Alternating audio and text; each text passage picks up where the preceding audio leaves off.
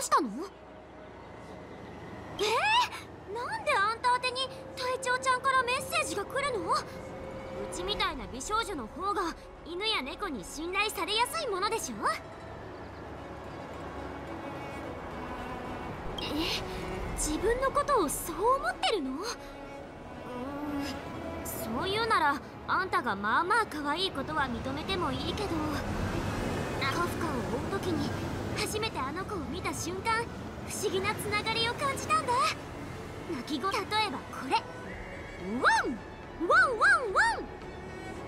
これの意味はハロー流雲渡しの埠頭で変なものを見つけたんだ。興味があれば見に来てね。だよ。ちょっと遠回しにうちの悪口を言ったよね。とにかくうちには隊長ちゃんの言葉がわかるのでも隊長ちゃんは不当で何を発見したんだろう。一緒に行こっか。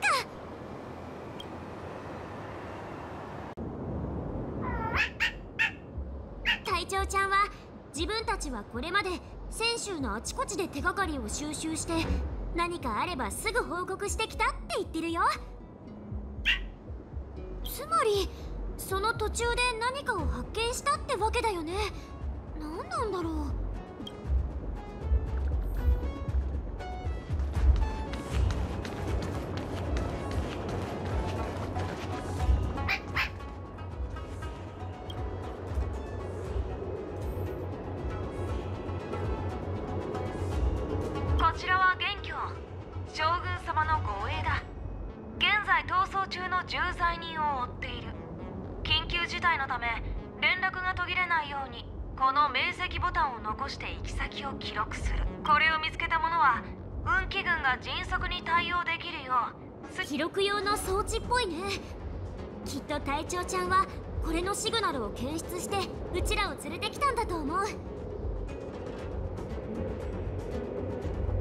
人は見かけによらぬものでしょ？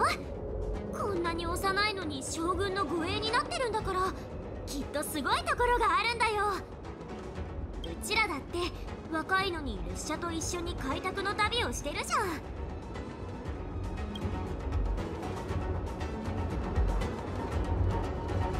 こんな時に将軍の護衛が動くような重罪人といったら性格ハンターしかいないでしょ？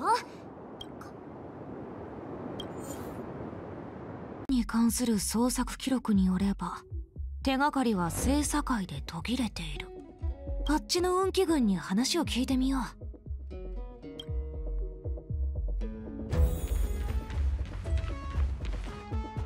少しいいかな隊長。元凶君どうした？新作府から出てくるなんて。将軍様は心配事が多すぎるからね。まだ何の収穫もないんだよねあの陣は優秀国で禁錮されていたが脱出後は後も残さず消えた。後も残さずか。しかしよくもあれこれと物騒な連中ばかりがラフに集まってきたものだ。大丈夫だよ。将軍様の命により僕がその連中を払ってみせる。あんたが？そんな命令は聞いていないが隠密行動なんだ。なら人手を割いてやろうか。隊長の行為には感謝するよ。だけど秘密はね野望ついて蛇を出すような真似はしたくない。いい狩人は単独行動を好むものさ。人手を割くってなめてるね。僕がもうちょっと大人だったら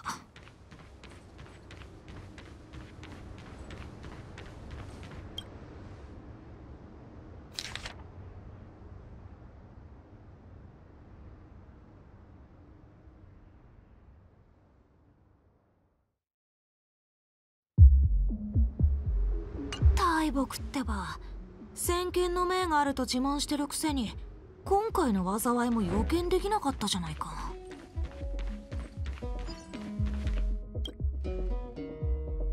機構長がまだ動作していれば映像記録を確認できたのに。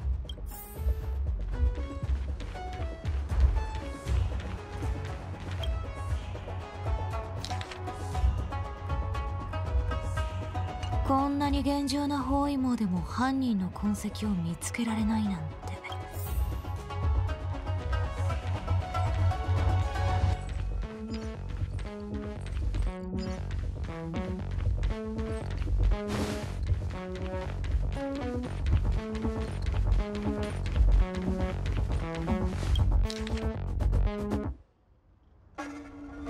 天白氏も大変なことになってる紛失した精査を取り戻せるかな？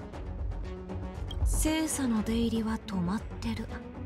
犯人は逃げ出せないだろう。もし先週内を逃げ回ってるとしたらこのそうだ。各同点を行き来するには精査が必要なはず。奴に盗まれた精査が糸口になるかもしれない。一度不当に行ってみよう。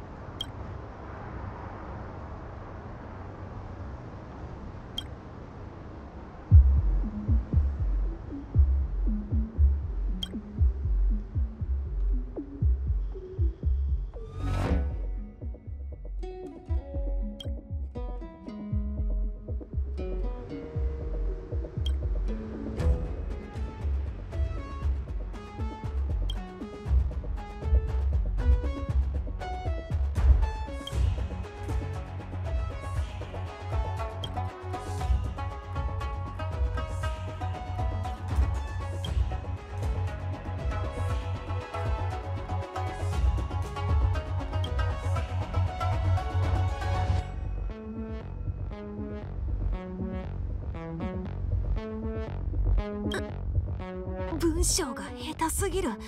話の流れもダラダラしているし。じゃなくて何をしてるんだ僕は。将軍の教えを忘れてたかが小説に足を止められるとは。どんどん広がっている。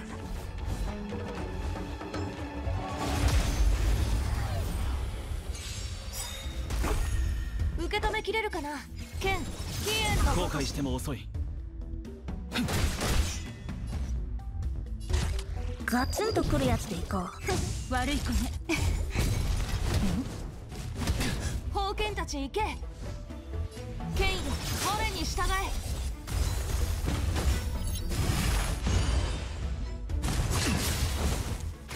騒ぎを起こしたくはない。へえリプガツンとくるやつでいこう。手の施しようがないわね。お薬の時間よ。安心しろ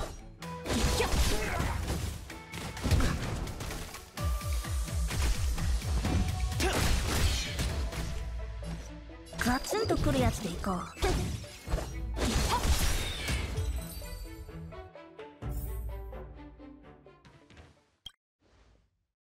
死んだふり？子供騙しだね。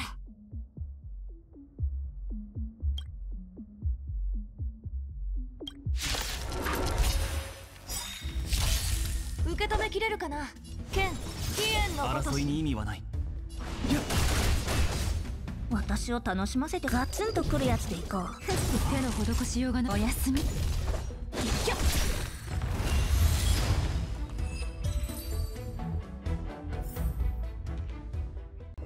これは？この傷跡は運気軍が残したものじゃない。獲物が後を残したのであれば簡単だ。さあおいで。隊長気配をたどって後を追うんだ。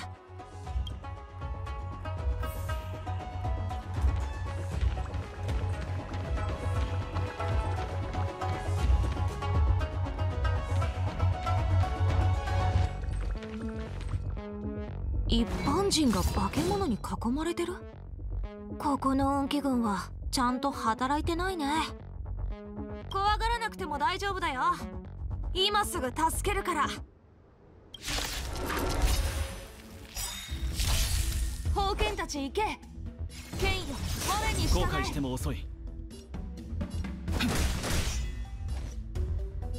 ガツンとくるやつでいこう。手の施しようがないわね。体験を改善しないふん2倍速ってこんなもん。手の施しようがないわね。生死虚実同点元気超無一角。悪い子ね。番犬天来 お注射の時間よ。剣飛燕のごとし。騒ぎを起こしたくはない。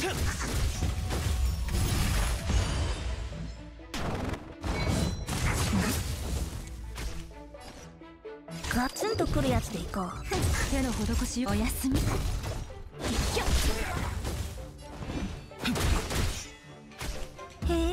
ガツンとくるやつでいこう。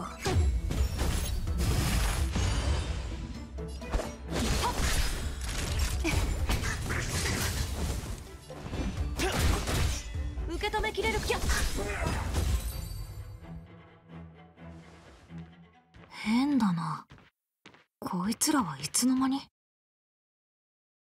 すまないな。小僧ことをやったまでだよ。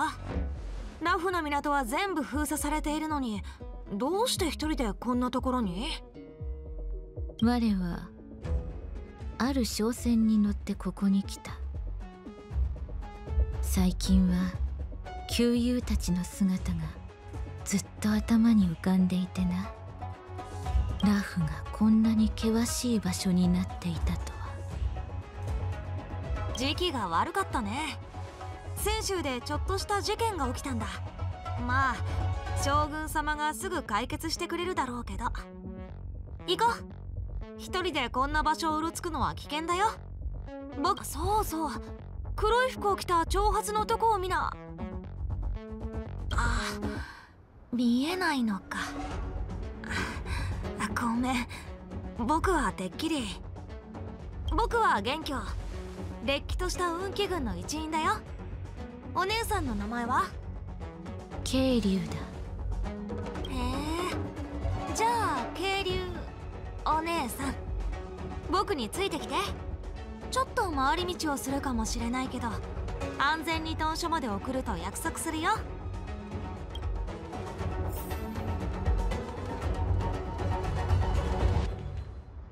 小僧どこに向かっているんだ？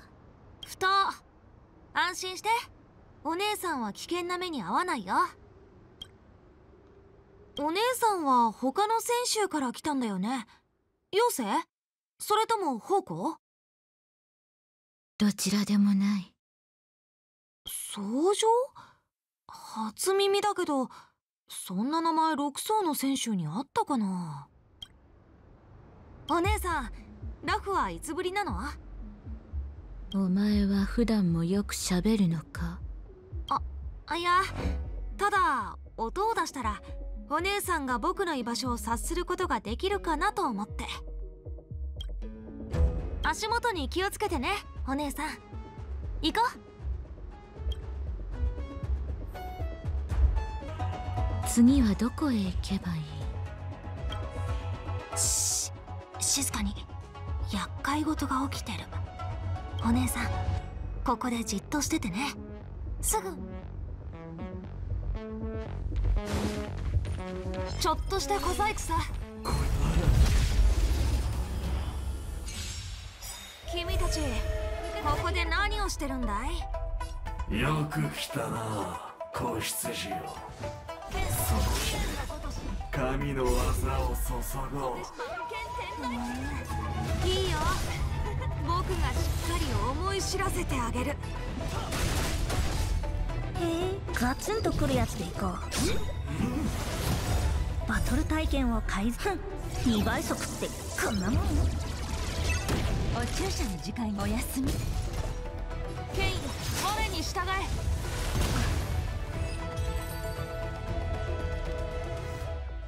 こいつらは何者だ、はあ、将軍が言ってた内なる敵って本当にいたんだね。いい腕だ小僧。えお姉さん見えてたの？聞こえた。剣が空を舞う音物を切り裂く音。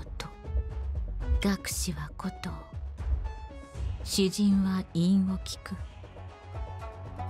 それと同じく。褒めすぎだよ。されど攻めるばかりで刃を隠す方法を知らぬ。は故に剣曲の終わりが多少乱れていた。どうやら曲と剣には通じるところがあるようだね将軍様も同じことを言っていたよ。剣手ああそれは確か。運気軍の中で剣術を極めた者が得る賞その通り。陰月の乱以降ラフで剣士の名を得た者はいないんだ。今も席が空いたまま。でもラフの運気軍が巡視から帰って演武天霊が再び開かれたら僕がその名を得てみせるよ。運気軍の武芸はどれも伝承されていくものだ。お姉さんが剣を知るものならば隠す必要はないね。将軍。久々にラフに来たとはいえ慶元将軍の異名は知ってるだろ将軍様は自分は剣に馴染んでないとか腕がよし周りも片付けたし行こうか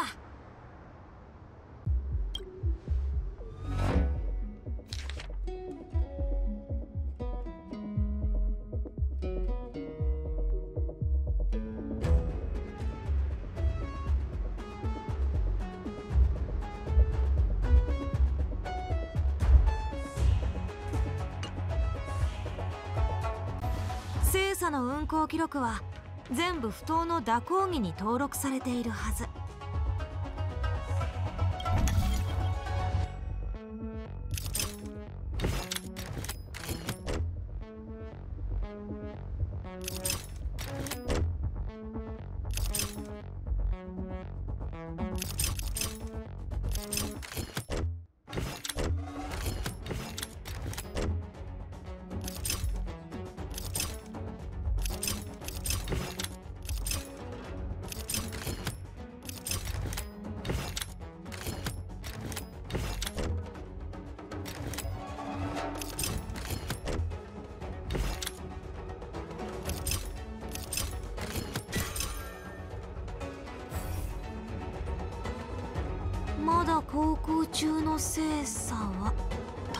大牧師と構造師を経由したのか。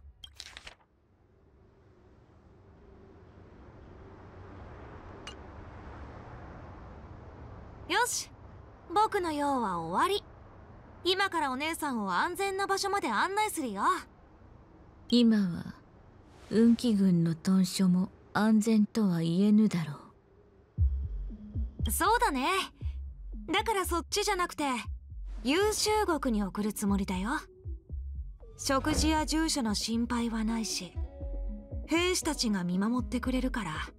絶小僧人を捕まえるには理由が必要だろ挙動不審そして隠し事。それだけで十分だよ。まさか僕が子供だから騙しやすいとでも思った？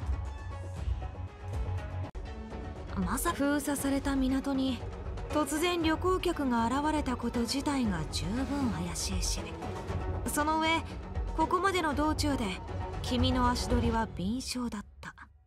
剣術のことも耳で聞いただけで腕前を見抜き僕の剣の数まで当ててみせた。お姉さんは盲人じゃないよね。見えぬと言ったことはない。目隠しを見てお前がそう思い込んだだけだ、うん、大丈夫だ小僧。お前には何の恨みもないし泉州を不利な立場に追いやるつもりもない。この目隠しこそ目の前の景色に惑わされここに来たのはとある人物を捕らえるため。君もジンを狙っているのか？ジン？今はそう呼ばれているのか？身を我を奴のところへ連れて行け。小僧。小僧は我にかなわないならば当然陣にも劣る。我が同行した方が。剣を抜かなければ雌雄を決することはできないだろう。僕の剣をなめるな。運気軍と同士討ちをしたくはない。こうし勝負だ。泉州に散在する意味物で剣を試そう誰がもし僕が勝ったら？ならば負けを認めおとなしく優秀国に行き処罰を待つ。だがもし我が勝ったら陣運気軍は公務で賭けをしないよ。そもそもお姉さんは僕に勝てない。その自信は悪くない。だが剣を抜かなければ雌雄を決することはできぬ。この辺りの意味物はすでにお前が切り尽くしている。場所を変えるぞ。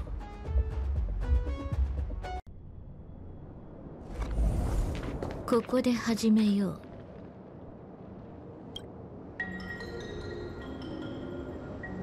魔音の実が横行し容器に満ちている。剣で競うのに最適な場所だ。意味もどうやって勝敗を決める？道の終点まで一匹たりとも残さずに切る。分かった。小僧が先に行くといい。お姉さんその隙に逃げるつもりじゃないよね。ケーゲンから何を教わったのか。口。ちょっとした小細工さ。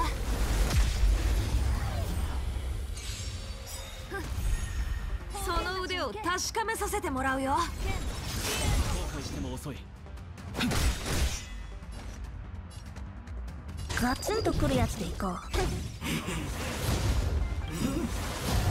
生死虚実同点元家超無一角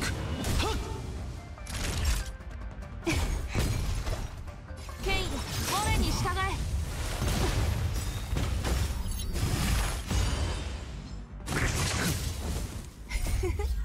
小手し番犬天来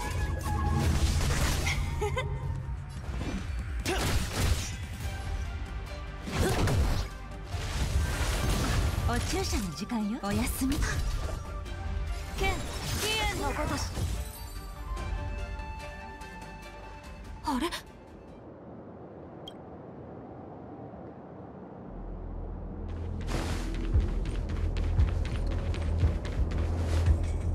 いつの間そこまで？遅いぞ小僧。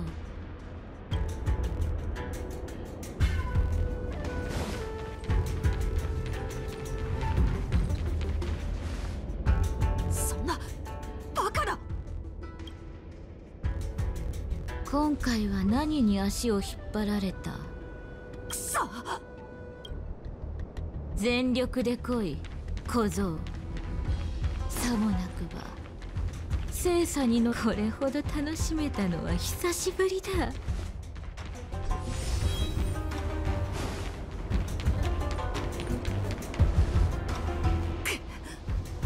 久々に剣を振るったからな。今日が乗って魔音をよみがえらせるところだった。さあ小僧。最後の余興はお前に。三度攻撃するといい譲ってやろう。剣を抜け。年長者を待たせるなど失礼だ。剣よ我が優柔不断だな。力も足りぬ先ほどの地震はどうした？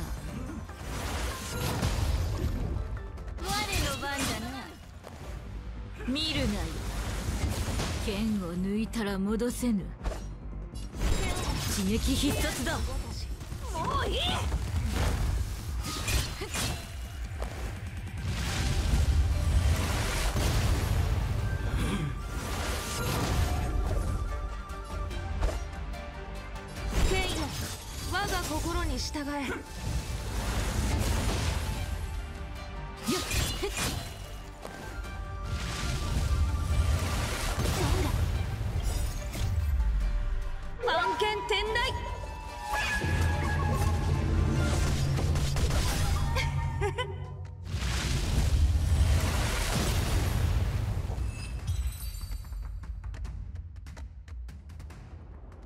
先ほどの一振りだけは我を失望させずに済んだな。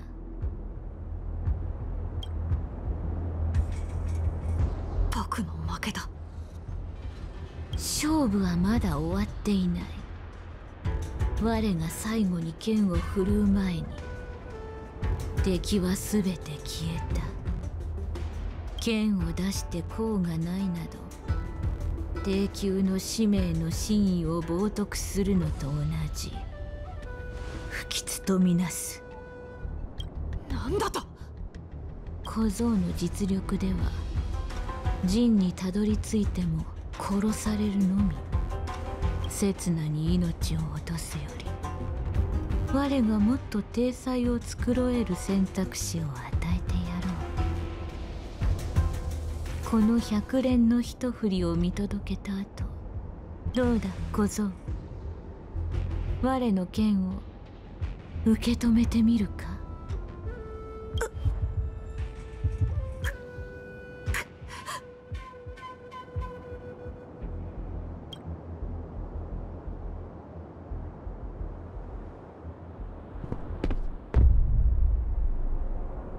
いい度胸だ。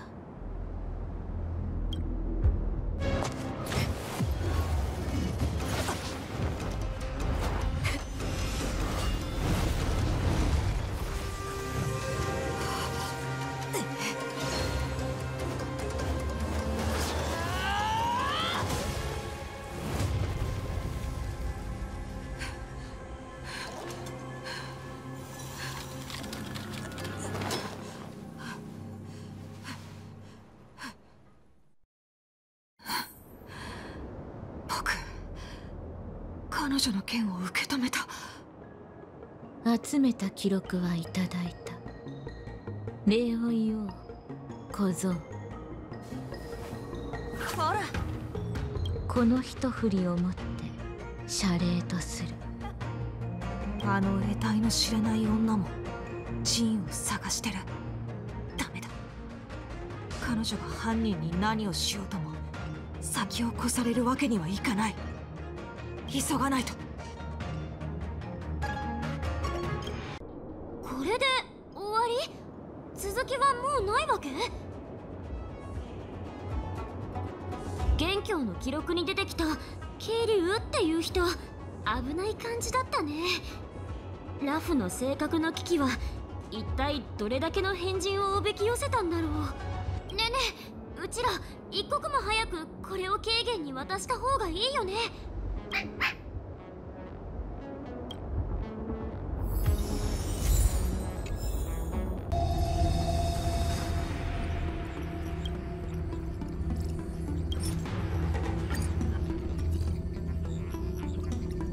確かに元凶の明晰ボタンだ。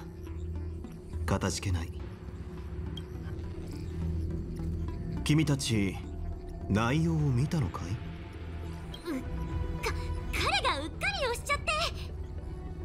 構わないよ。彼女は私の恩師だった。運気軍にいた頃私は師匠の部下だったんだ。もし彼女に会ったら近づかずにすぐ私に連絡してくれないか。重罪人を追う任務を引き受けたのなら彼の生死は我々が心配することではない。だが私はあの子を信じているよ。すまないね。教えられることはない。改めて礼を言う。列車の友人たちよ。昨日全てが解決して諸君らと心置きなく話し合える日が来るのを楽しみ。